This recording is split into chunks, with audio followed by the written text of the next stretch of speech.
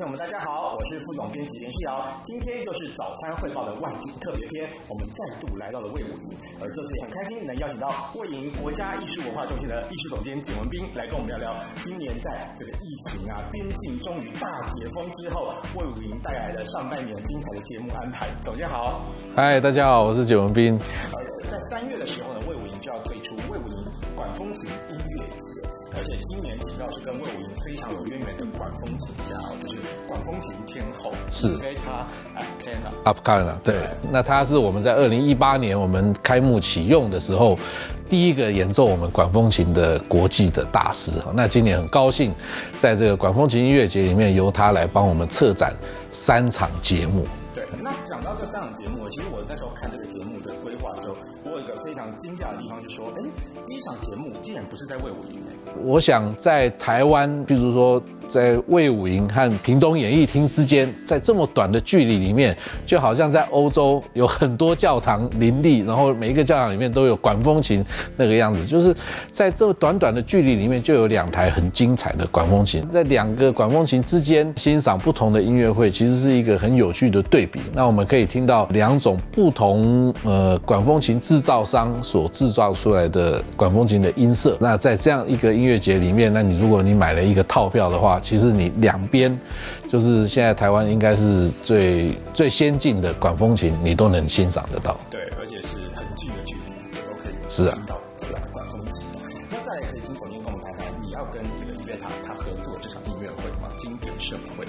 是这场音乐会其实已经设计了很久哈，就是说呃，在前年还是大前年，我们本来就要做这一场音乐会，所以他要演奏的两首，比如说巴哈和那个 Gilmore 这两首协奏曲，是老早就定好。那我们就说，哎，那现在已经二零二三了，你有没有什么新的想法？他说没有，我就是想要在这个魏武营的这一台管风琴上面来展现这两首。的这个情谊，像我们说好，那我们也很高兴，就是说来搭配。那接下来要伤脑筋就是我哈，因为两首协奏曲，你就要想说，那一首在上半场，一首在下半场，我应该要搭配什么曲子？哦，对，所以，我们这一场音乐会，就是对音乐比较了解的观众来讲，你就会发现，这是一场低小调的音乐会。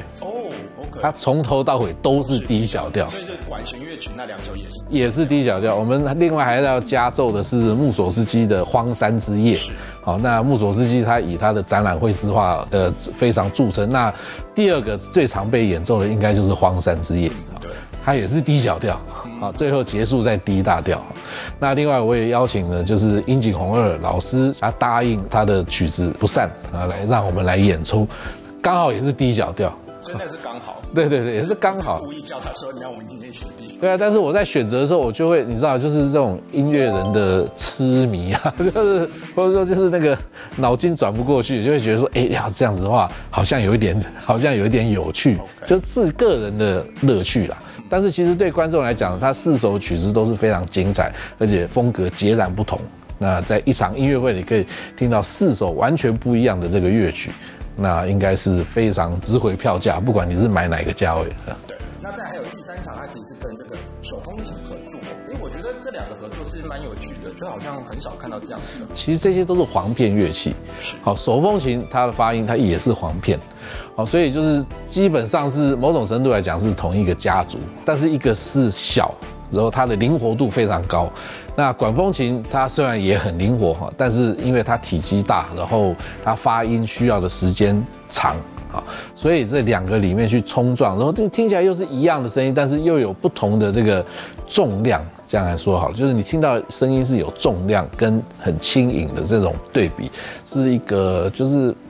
会很会很生动的一场音乐会。那在这个三月过后呢，四月起魏武营又要再推出了，就是魏武营国际音乐节。那这个其实也是去年是举办首届，对，去年是成功的在现场举办首届。虽然我们的艺术总监跟策展人作曲家陈英淑女士她没有办法在台湾啊，但是就是我们还是按照整个的规划来完整的来呈现。我们希望就是说带给观众一个概念，就是说所谓的古典音乐，它不是只有在几年以前，那所谓的当代音乐，它并不是一定只是好像很难听得懂啊。其实它没有之前，也不会有后面。好，所以我们透过这个每一场音乐会里面乐曲之间非常巧妙的安排，无论是在调性上面，或者说在他所描述的故事里面，就是让观众来到国际音乐节里面，每一场音乐会，它既可以听到比较年代悠久的乐曲，也可以听到今年或是去年才创作出来的作品，就是让让大家可以听到说，哦，原来音乐它是先有那边，然后后才慢慢慢慢一步一步转到这里来。好，所以就是在这个国际音乐节里面，基本上每一场演出，好，都是用这样子的概念来策展。好，那么我们看开幕音乐会的曲目的话，应该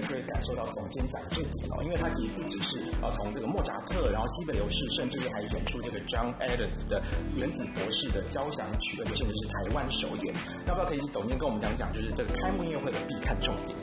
呃，对于我哈，就是身为一个指挥来说哈，就是我最我最兴奋的事情，当然是这个开幕音乐会是由 David Robertson 来担任指挥哈。那这位指挥他。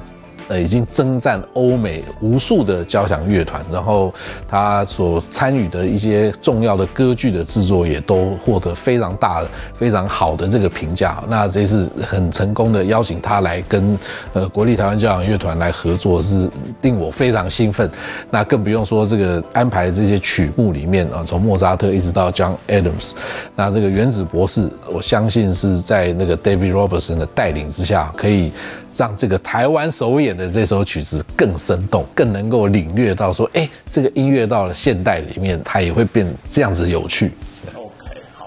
John Adams 算是蛮容易亲近的这个当代音乐，是是是是是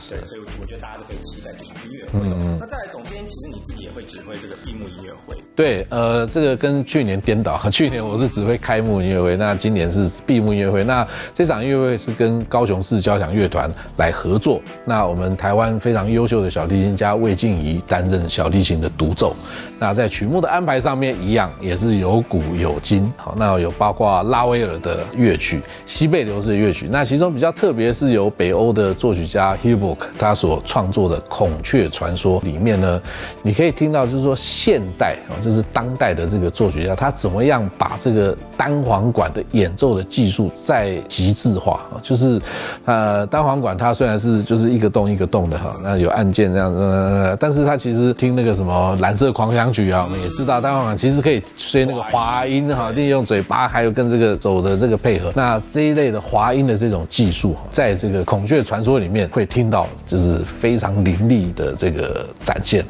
而且我看曲姐访问啊，对对对对对对对对对对，这个这样也是在现代里面，因为过去的几十年来，其实跨界行为越来越多哈。那在这个音乐会的舞台上面哈，它已经比较跳脱了过去我们只是欣赏音乐哈，就是在家在家里听就好了嘛。然后在现场，你除了可以看到这个音乐家的这个表演之外呢，那有一些作曲家他会希望就是说，透过肢体的动作，让听众或是观众可以更能够去领。略乐曲的这个乐趣，这首？是是是是是。那其实在这个国际音乐节，还有很多不同的节目，它有很多独奏会，然后像去年这个解密音乐会，然后以及还有这个，我看今年还有个动画放映，不知道说总监你还有没有什么觉得特别呃可以推荐给大家的节目？是的，我们这个基本上的架构我们会延续下去，我们会挑选跟音乐或者说音乐演奏或者说音乐元素相关的影片。就是说，他其实透过电影这件事情，也可以去领略，就是说，音乐在当代，他他所扮演的这个角色。那另外，呃，刚刚你提到这个解密系列，那这个是美国芝加哥交响乐团他所推出的一系列哈。那我们今年同样会推出这个解密系列。那今年在讲的是华格纳非常著名的《崔斯坦与伊索德》的一些秘密啊，就是在音乐在这个和声构造上面的这个秘密。那同样，它是以非常多元的方式。来呈现，它并不是只是乐团演奏而已，而是它还有说书人，它甚至还有一些肢体哈，有一些演员的这个部分，剧场的部分。那另外呢，我们总共会有三场不同的这个独奏家和独唱家啊。那其中最令人瞩目的应该是这个独唱家女高音呃 Yulia Leshneva。好，那她是目前这个国际上面真的是算是技巧最高超，而且声音最优美的女高音之一。好，那也是很高兴，就是说他刚好这个时间配合之后来到台湾来演唱。好，那另外还有这个最近非常火红的这个韩国的长笛家金宇彬，那他也会来带来一场这个非常精彩的长笛的独奏会。当然，这个曲目也是包罗万象，从古到今。